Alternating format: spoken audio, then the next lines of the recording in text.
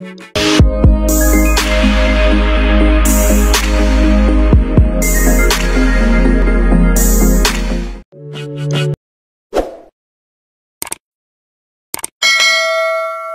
morning everyone. So I am Juliana Limos and I am your fitness instructor for today. So I'm gonna share you some tips on how to avoid dehydration, overexertion, hyperthermia, and hypothermia. So first, let us discuss what are those.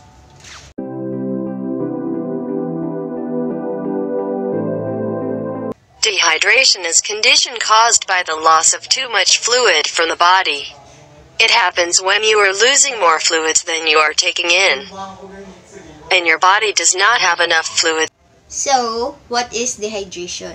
Dehydration is a condition on where in our body lose too much fluid. So, dehydration occurs when people tend to lose more fluid than we are taking in. So, it causes our body to not work properly. As you all know, our body is composed of 70% water. So, being dehydrated can cause a lot of troubles for our body. So, it results in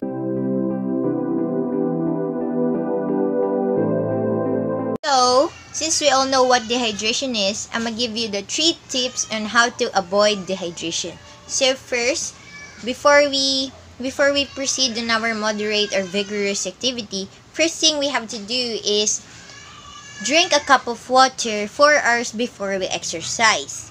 And number two, during exercise of a long exercise, 10 to 15 minutes during your exercise, you have to drink a half cup of water.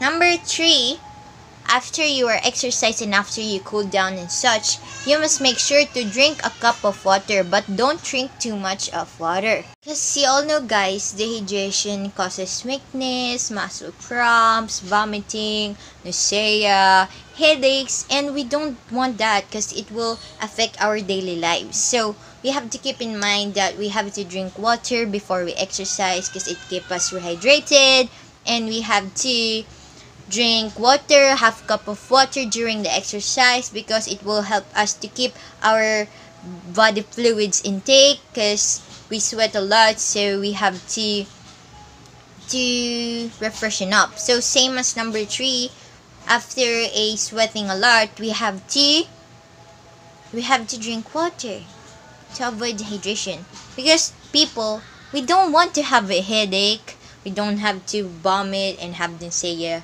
it will affect our daily lives. So always remember that do that three steps to avoid dehydration.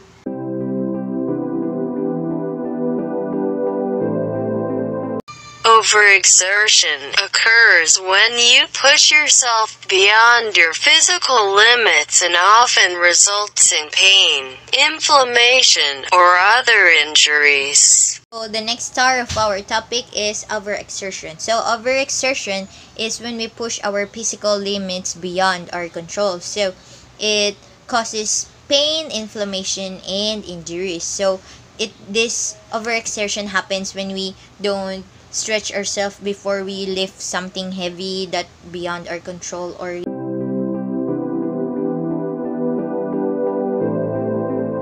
We also have three steps on how to avoid overexertion. First is P, plan to take a lift. So before we lift something, we have to keep our back straight and lift the thing with your legs. And so we have to lift it with our whole body, not just our arms because it will make our arms break or so. So next thing is L. Limit the time of doing the motion over and over again. So for example, you will keep on fidgeting like doing that stuff and it is not it is not controlling or it is not equal because your certain body parts is moving while others are not so it may cause in pain inflammation and injuries so last letter b take frequent breaks when you were in the same position. Like you are in your class and you have to sit on one hour class and it will keep your back sore. So please after 20 to 30 minutes try to change position. It will help you to prevent back pains and inflammation. So let's keep in mind let's keep in mind that overexertion causes a lot of pain for us. So, again, keep in mind the PLB. Plan to take a lift, limit your motions or over and over motions, and B is to take a frequent breaks.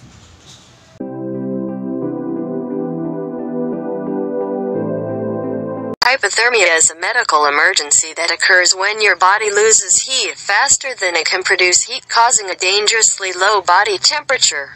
So next is hypothermia.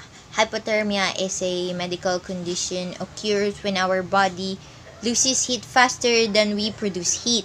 So hypothermia is a very dangerous medical condition and may cause us to die. It may cause our death kasi nga we have a low body temperature. So, your body needs to be heated. We need that to avoid bacteria and such. So, having a body that is low temperature can cause you faint and you may cause a you may cause a dangerous damage on your organs and such and your cells and such. So,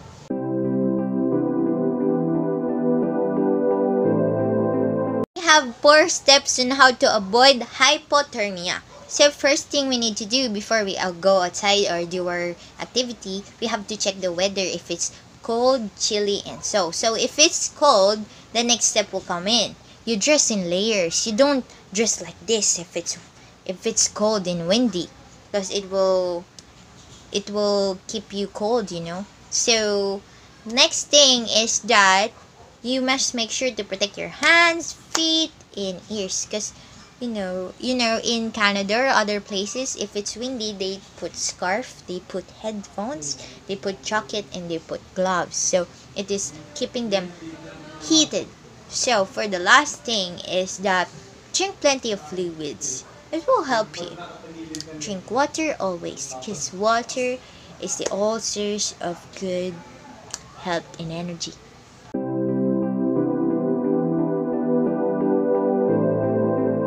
Hyperthermia is actually an umbrella term.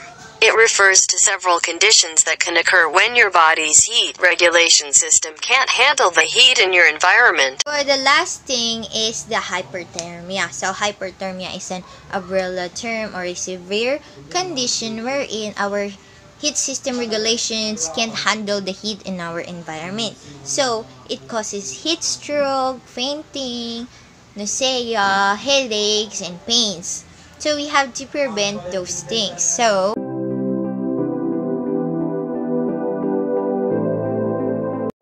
if we want to avoid hyperthermia, we have four steps to do it.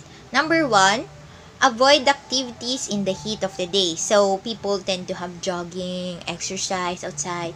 But if it's extremely hot, please don't do so.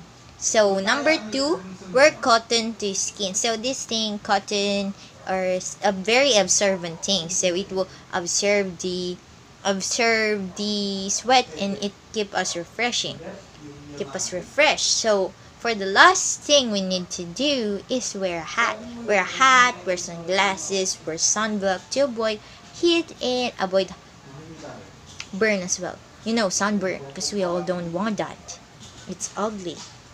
So, for the last is rehydrate. So, as like different things to do, we have to drink plenty of water because it keeps our fluids properly intaking. So, kasi diba, if it's if there's heat, it will cause our body to sweat a lot. So it tends to lose more body fluids. So keep in mind to drink water always.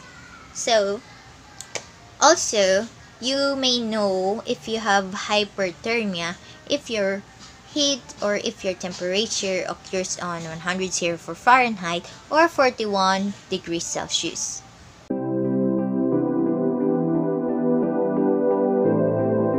for today. So we have discussed how to avoid dehydration, overexertion, hypothermia, and hyperthermia.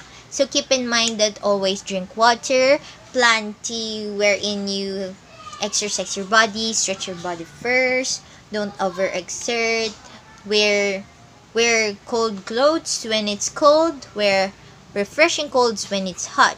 So keep in mind to stay healthy and have a nice life Bye! So again, bye guys. Arigato gozaimasu. Please like if you like the video and subscribe to my YouTube channel. Annyeong! Konnichiwa!